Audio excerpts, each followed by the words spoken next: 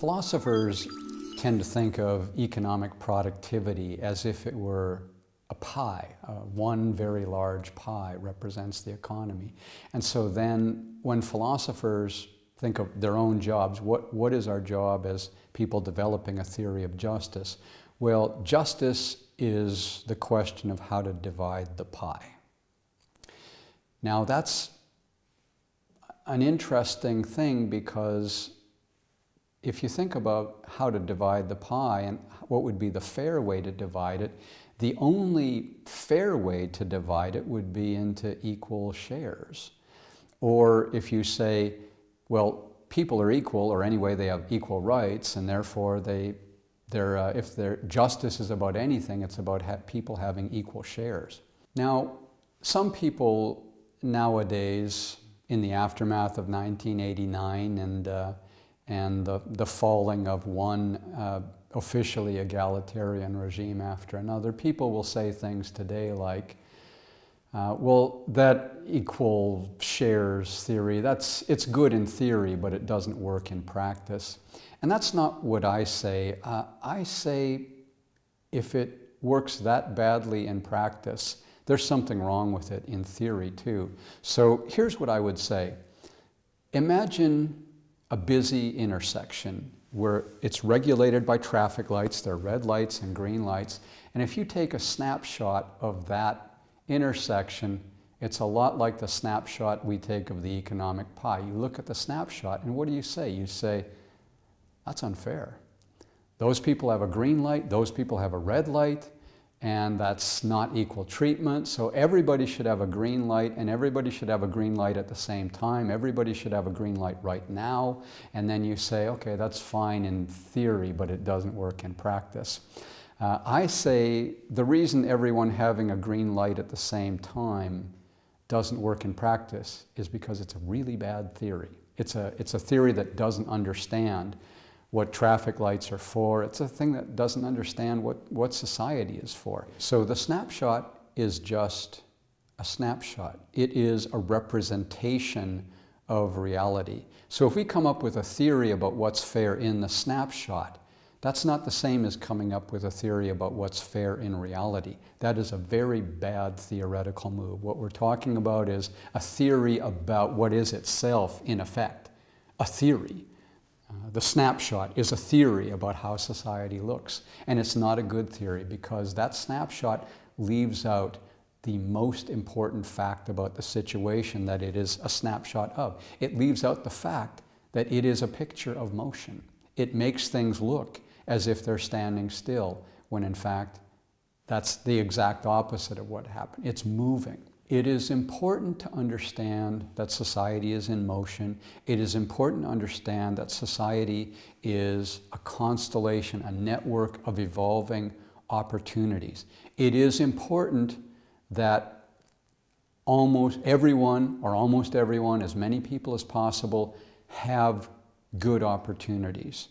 In the same way, it's important that the light turns green at some point for everybody. Everybody gets to move at some point. But it's not important at all that everyone have a green light at the same time. That is not what matters. It's even counterproductive. And so that kind of equality, snapshot equality, is a spurious equality. It is not an equality that matters, morally speaking. The morality that matters, morally speaking, is the kind of morality and the kind of equality that you can see coming into place over time as you see, okay, 18 year olds and 40 year olds don't have the same income. It's not important that they don't have the same income. It's probably better that they don't have the same income. In the same way, it's better that not everyone gets a green light at the same time. That it's important that the 18 year olds have a chance to move up and get promoted and learn new skills and become experienced, valuable workers. Uh, but it takes years to do that. And it's just fine that it takes years to do that. The snapshot represents a single moment. It fails to be a good representation of what people have reason to expect from each other over time. When you theorize about how to make the snapshot fair, you're not theorizing about how to make reality fair.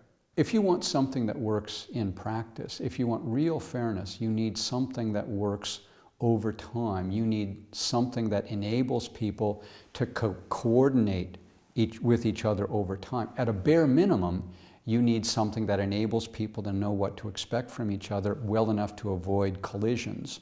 And then in real life, you want more than that too. You want people to know what to expect from each other well enough to form contracts, to form partnerships, to form relationships, to make business deals, to be good for each other, not only to avoid colliding with each other. That is the fundamental trick, the thing about society that is a lot more complex than just traffic management.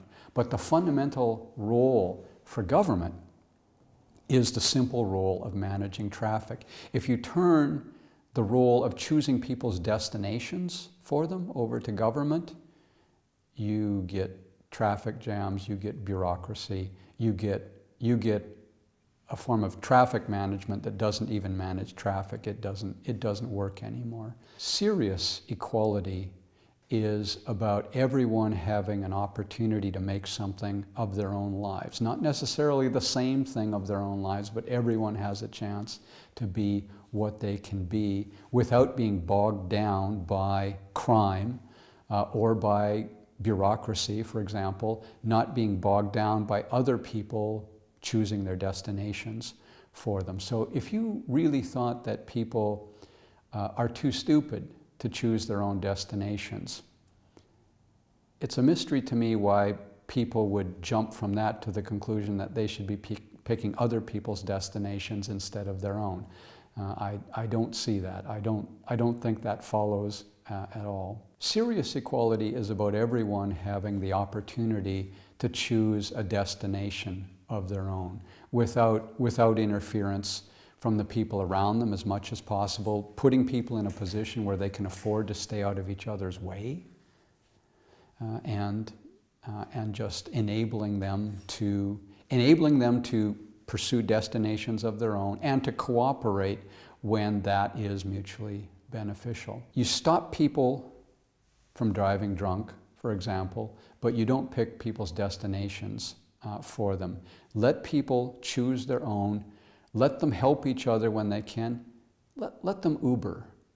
Um, it's funny, you don't have to you don't have to make it illegal not to Uber. Just leave people alone and they will realize that their car has excess capacity and that that capacity could be usefully rented to other people. You can make other people better off by giving them rides and it's easy for you to do and you can make you can make some money doing that. Let, let people Uber. That is, that is the 21st century paradigm of how people develop spontaneous institutions for being of assistance to each other when you simply leave them alone.